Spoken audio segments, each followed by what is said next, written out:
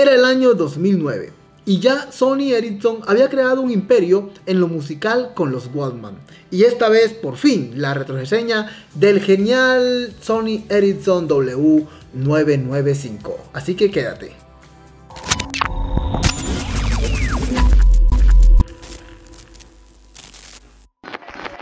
Un celular inolvidable de la marca y lleno de detalles en funciones. Como su buena cámara, que estaba destinada más a su serie Cybershot, así es el Sony Ericsson Walkman W995.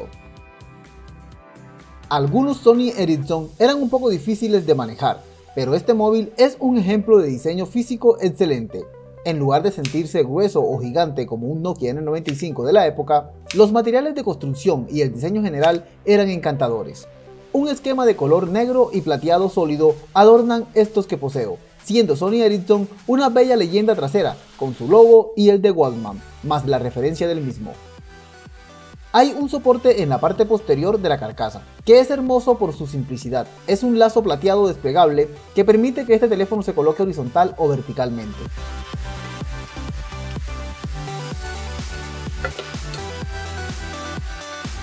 Cuando está pegado al cuerpo del dispositivo, proporciona protección para el cierre de bloqueo de la tapa posterior, ayudando al pequeño seguro, que debemos deslizar si queremos sacar su batería, la BST38 de 930 mAh, algo quizás corta ya para este móvil.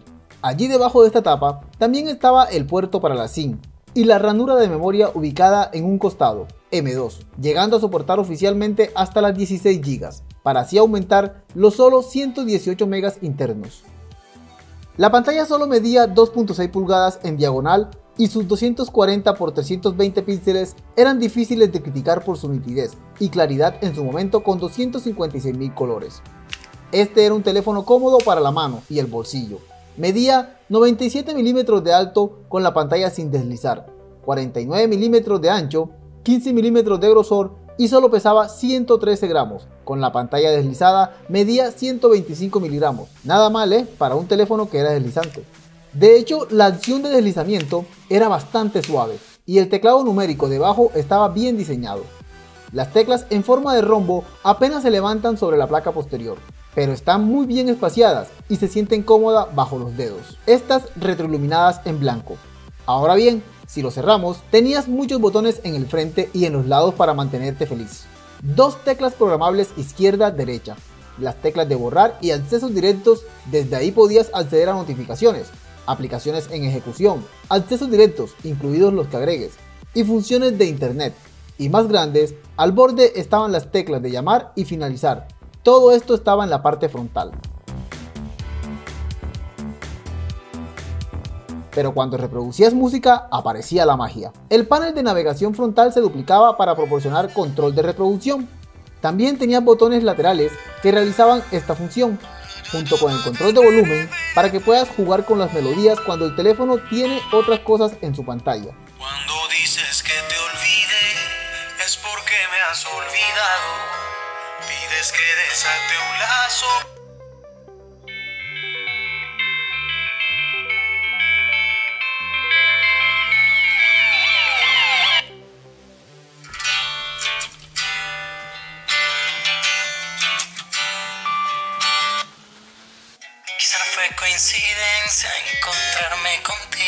Debo decir que me gusta mucho este enfoque anticuado basado en botones para la reproducción de música. Es mucho más fácil encontrar los controles mientras el teléfono está en tu bolsillo que cuando se usa una pantalla táctil. Además de que esas luces naranja en estos botones multimedia lo hacían ver genial. En términos de calidad de sonido, la reproducción de música es muy buena y hay mucho volumen en los parlantes incorporados, estéreos, que se ven bastante bonitos en el borde inferior y superior. Sumando las bondades que brindaba tener el reproductor Wallman 4.0 como un ecualizador gráfico de 5 bandas. Sin embargo, la mayor alegría que recibimos de este teléfono es el hecho de que Sony Ericsson finalmente decidía demostrarnos que sabía lo que es un conector para auriculares 3.5 mm.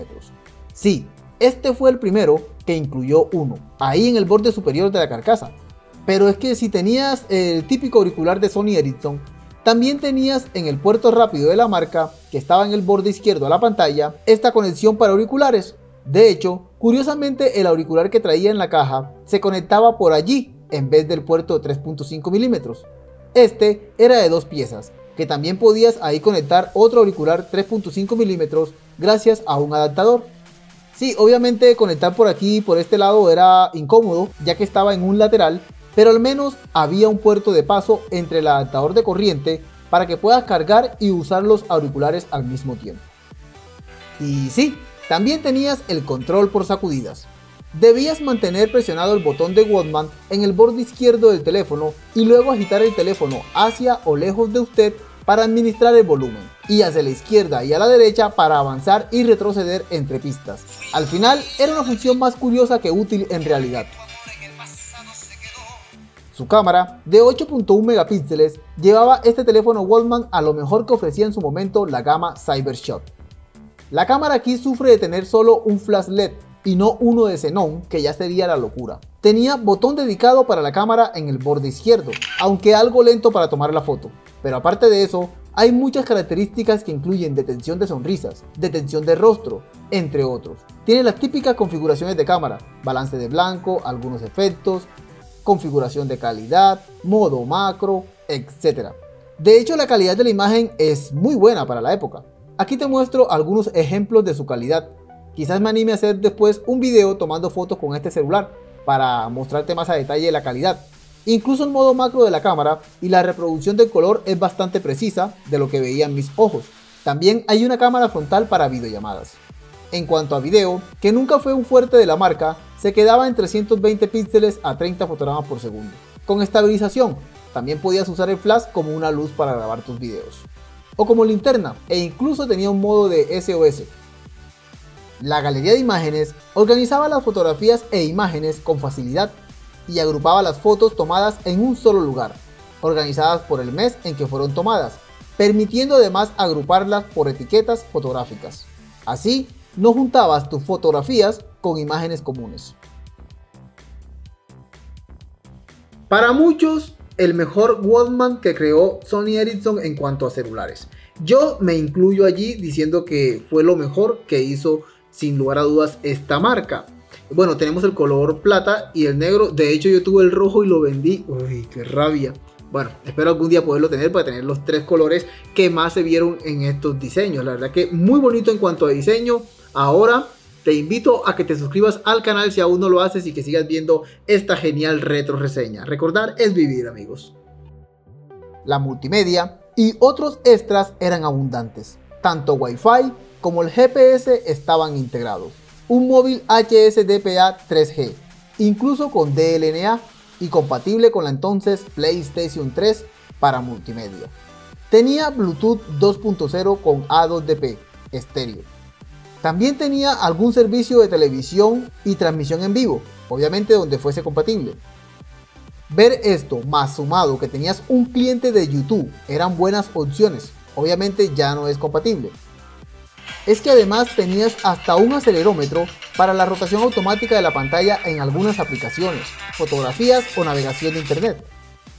Había una radio FM, obviamente necesitabas los auriculares para antena. Tenías Track ID de Sony Ericsson para reconocimiento de canciones, Foto DJ, Video DJ y Music DJ, aplicaciones conocidas de la marca en este tipo de celulares, grabadora de sonido, mensajería, que incluía correo electrónico, alarmas, calendario, administrador de tareas, tomador de notas, temporizador, cronómetro y calculadora. También hay una gama de servicios que aprovechan el GPS integrado, incluido Google Maps. Por supuesto, no podía faltar los juegos compatibles con Java, que se aprovechan en esta pantalla. Permitía también juegos o aplicaciones basados en movimiento, gracias al acelerómetro. Contaba con lo típico de los temas para el menú mayoritariamente basado en Flash y por supuesto sus tonos de personalización que te los mostraré en otro video para no alargar más este.